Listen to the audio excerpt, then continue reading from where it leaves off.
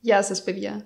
Ε, αν δεν το έχετε καταλάβει, διανύουμε την περίοδο του Black Friday που για όποιον δεν το γνωρίζει, ε, που δεν νομίζω ότι υπάρχει κανείς, πρόκειται για έναν αμερικάνικο θεσμό σύμφωνα με τον οποίο την τελευταία Παρασκευή του Νοεμβρίου, ουσιαστικά αμέσως μετά το Thanksgiving τους και πριν την έναρξη της ε, χριστουγεννιάτικης περίοδου, ε, τα καταστήματα βάζουν πολύ μεγάλες εκτόσεις, ρίχνουν κατά πολύ τις τιμές τους για να αυξήσουν το τζίρο τους.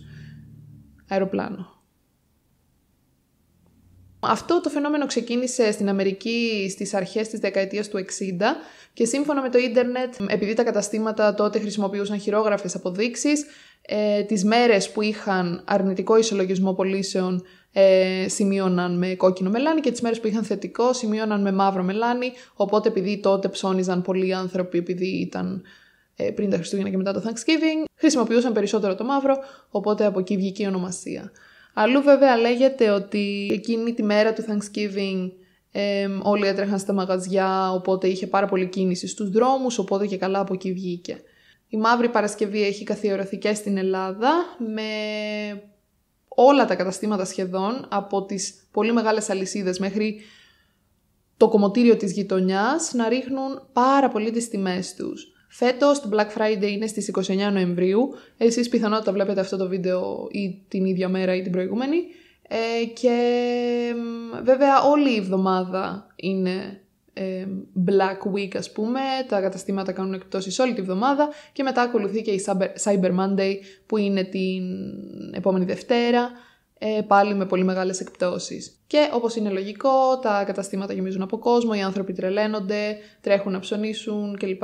Σύμφωνα τώρα με το blackfriday.global, ο μέσος Έλληνας αγοράζει κατά μέσο όρο 4 προϊόντα και σκοπεύει φέτος να ξοδέψει περίπου 242 ευρώ ανά άτομο σε διαδικτυακά και φυσικά καταστήματα, με ιδιαίτερη προτίμηση στα ρούχα, παπούτσια, ηλεκτρονικά είδη και υγειακές συσκευές. Τώρα, όσο αφορά τα αποτελέσματα αυτής της τρέλας, ε, είναι αποδεδειγμένο ότι τα καταστήματα έχουν πολύ μεγάλο κέρδος εκείνες τις μέρες. Στην Ελλάδα το 2018, κατά τη διάρκεια του Black Week, ο κόσμος ψώνισε 2.600% περισσότερο από ό,τι οποιαδήποτε άλλη μέρα του χρόνου. Οπότε τα καταστήματα όντως βγάζουν περισσότερα χρήματα. Όντως έχει κάποιο σκοπό όλο αυτό το πράγμα που επιτυγχάνεται κιόλας.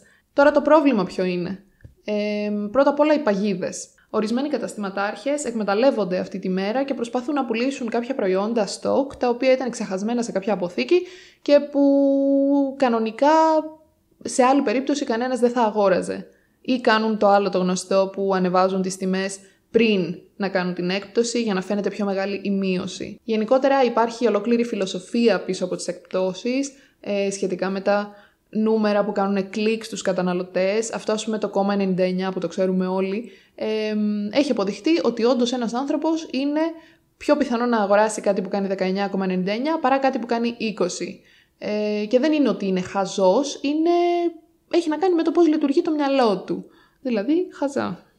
Πλάκα Έχουν δείξει έρευνες ότι ε, αυτό που καταγράφεται στο μυαλό του καταναλωτή είναι το αριστερό ψηφίο της τιμής. Οπότε είναι λογικό ότι θα του μείνει το 1 και όχι το 2 παρόλο που η διαφορά τους είναι κυριολεκτικά ένα λεπτό. Τέλος πάντων, ο Σύλλογος Εμποροϊπαλλήλων Αθήνας τώρα καταγγέλει το Black Friday γιατί λέει ότι οι εργοδότες πατούν στην ανάγκη των λαϊκών στρωμάτων για έβρεση ε, οικονομικών και ποιοτικών προϊόντων, τα οποία γενικά είναι απαγορευτικά, και την ίδια στιγμή ξεζουμίζουν τους υπαλλήλους οι οποίοι θα δουλεύουν σε εντατικούς και πιεστικούς ρυθμούς, παραπάνω ώρες, έχοντας αντιμέτωπους τόσο τους εργοδότες όσο και τους τρελαμένους πελάτες. Και κάνουν και λόγο για θανάτους από ποδοπάτημα, που εντωμεταξύ νομίζω ότι στην Ελλάδα δεν έχει γίνει κάτι τέτοιο. Δεν ξέρω κιόλας βέβαια, οπότε δεν το λέω αυτό με σιγουριά.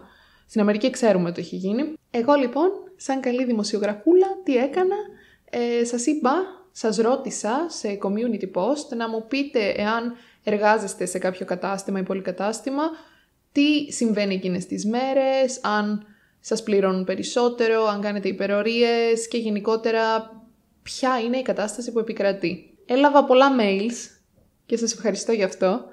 Ε, μισό λεπτό λοιπόν, μισό, μισό, μισό, μισό, μισό, μισό.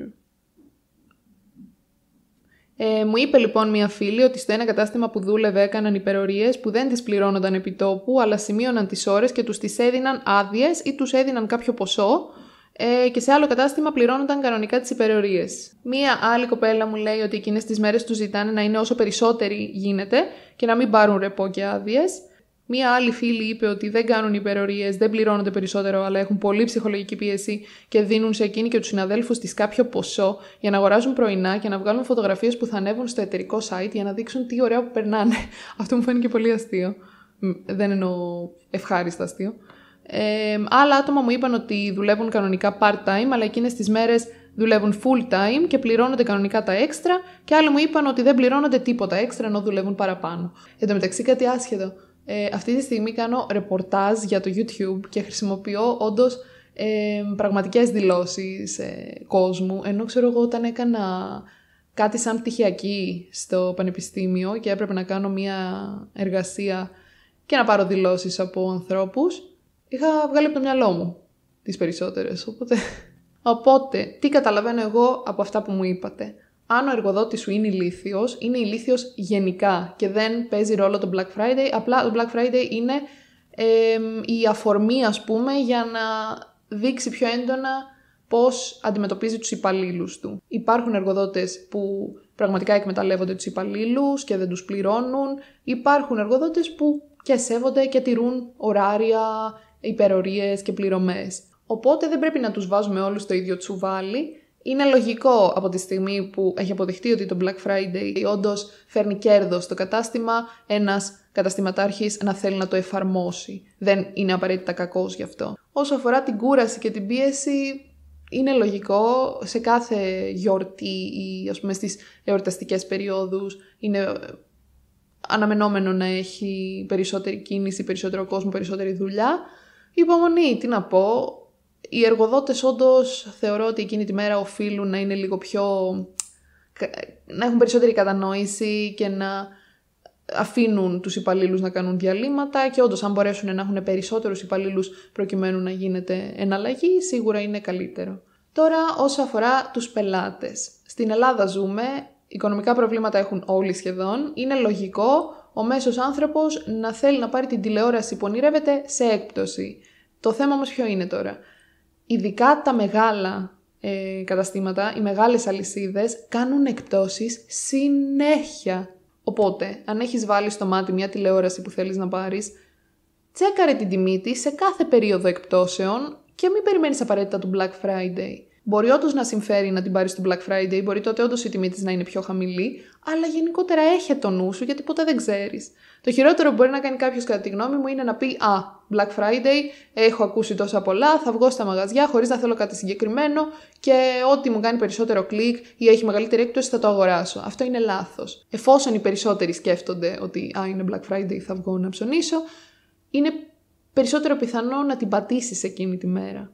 Α, και σχετικά με τις κοπάνες που κάνουν, ξέρω εγώ, οι μαθητές από το σχολείο για να πάνε να στηθούν έξω από το μαγαζί να ψωνίσουν.